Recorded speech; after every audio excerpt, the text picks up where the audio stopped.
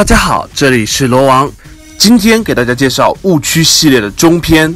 之前呢，已经给大家介绍了四个误区：蜘蛛尿根本没有毒性，因为蜘蛛根本不拉尿；螳螂吃丈夫完全不是必然，这要看是什么螳螂种类，并且要看母螳螂的饥饿程度。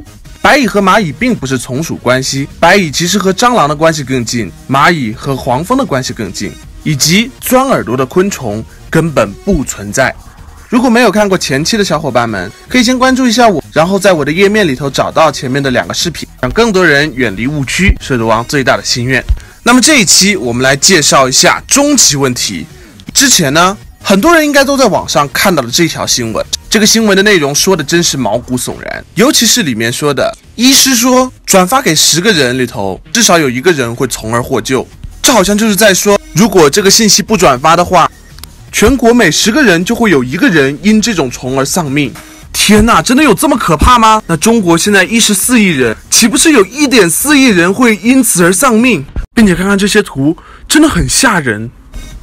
然而实际上，毒瘾吃虫的危害真的被放大了很多很多。这则谣言呢，跟之前的四则谣言不同，它并不是源于教科书的误导，或者是民间的一些奇怪迷信。这是一则由于网络媒体所造成的谣言。主要就是源于这张图。实际上，这个全球发出警示，真的不知道是谁发出来的。毒隐翅虫作为隐翅虫中常见的一种昆虫，已经与人类打了几千年的交道了。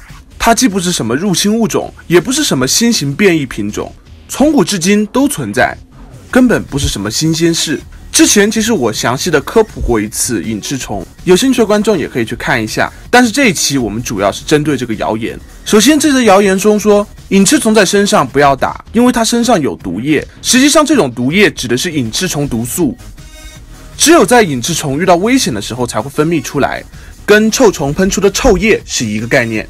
其实它虽然没有用专业的名词，但是我觉得这句话也没有什么很大的问题。但是后面接触到皮肤。就死定了！我的天呐，我真的是好害怕哎！这里来一个光速打脸。目前全世界没有任何一枚因为隐翅虫毒素而致死的案例，一枚都没有。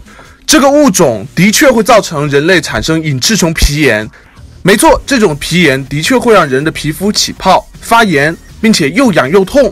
但是，一般情况下，接触到了隐翅虫毒素，根本不会出现图片上的这种情况。目前，我和我的团队已经在各大网站搜索了这张图片的来源，并没有确切的发现它一定是隐翅虫导致的。我们也询问了一些昆虫学的研究者，图片上的症状绝对不是一只普通的毒隐翅虫造成的，因此我们可以怀疑这张图片是 P 出来的，或者是其他症状，然后甩锅给了隐翅虫。所以大家不要因为这张惊悚的图片而感到害怕。真正的隐翅虫皮炎大概就是这种程度，当然它仍然会让人感觉到痛苦，但根本不可能致死。这则信息纯粹是恐吓，以及转发十份就一个人获救，这完全是一个噱头，还不如说转发十份就会有十个人被一则假新闻而误导，导致全社会的惊恐。这则新闻是几年前的内容了，但是到现在还是有非常多的人在转载它。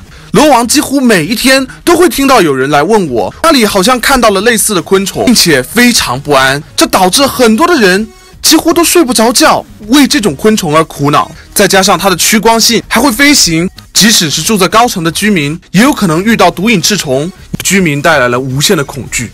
实际上，瘾翅虫毒素只有它遇到危险的时候才会分泌，尤其是碾压。因此，如果一只隐翅虫只是在你的皮肤上爬动，其实是不会有问题的，除非它受到了惊吓。即使分泌了隐翅虫毒素，这种毒素根本不会有什么生命危险，也不会出现这么荒谬的幻症反应。但是，如果真的遇到了毒瘾之虫，该怎么办呢？之前我的视频里其实有过介绍，但是我这次还是另外介绍一遍。第一种情况，如果在家里看到了隐翅虫，比如在墙面或者桌上，该怎么处理？首先需要找到一个类似瓶盖的容器，像什么塑料罐啊也可以，非常小心的把隐翅虫扣在上面，然后再将一张很薄的纸张或者是卡片从底部插进去，用这种方法捕捉隐翅虫，然后连着瓶盖和纸片一起扔掉。因为在这个过程中，有些人可能会不经意的用瓶盖压到了隐翅虫，隐翅虫可能会感觉到惊慌，分泌隐翅虫毒素。因此，出于安全，最好是把盖子和卡片全部丢掉。切记，不要随意的踩死隐翅虫，因为如果踩死隐翅虫的话，它会分泌大量的隐翅虫毒素。即使是用拖鞋板，这些毒素不会很快消退，一旦接触到皮肤，还是会容易造成皮炎。切记不要用手拍。那么，如果隐翅虫爬到人的皮肤上怎么办呢？包括这则谣言以及其他的新闻，可能都讲述了用吹掉这个办法。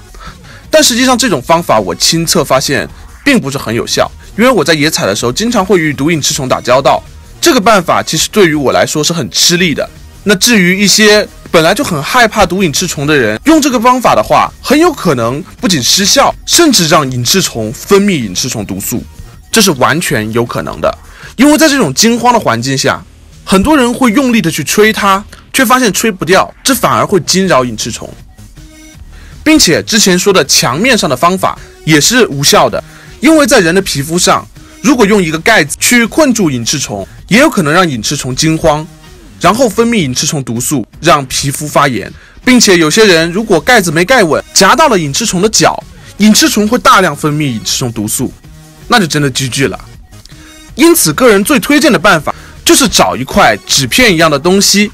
由于个人经常是在野外野采的时候遇到，个人更推荐于树叶。当然，如果在家中，也可以用一些纸片，轻轻地把纸片放在隐翅虫要走到的路线上，让隐翅虫爬到纸片上，然后迅速地对折纸片，赶紧扔出去。切记在压纸片的时候不能用力过猛，否则如果隐翅虫毒素渗入，然后从纸片上渗透出来。有可能还是会接触到人的皮肤。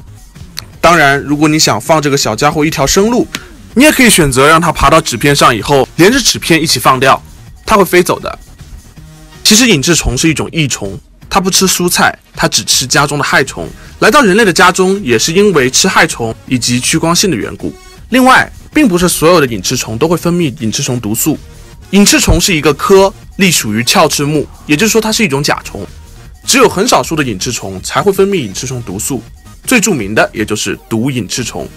好的，那这一期视频就讲到这里。这一期呢，也不光是解除误区，我也想介绍一些隐翅虫应对措施。希望看了这期视频的人，如果在雨后遇到了隐翅虫，可以运用这些知识，那罗王的目的就彻底达到了。感谢大家的观看。如果你觉得我的视频看的还顺眼，可以去点一下关注或者投个硬币什么的，罗王真的非常感谢。因为让更多的人知道昆虫知识，远离误区，是罗王的一大心愿。好的，那这一期视频我们介绍了隐翅虫，它被吸引到家中，以及之前说过钻耳朵的昆虫跑到人的家中，分别是由于趋光性和趋暗性导致的。那么什么是趋光性和趋暗性？在下一期的科普视频里，我就会进行介绍。这里是罗王，我们下。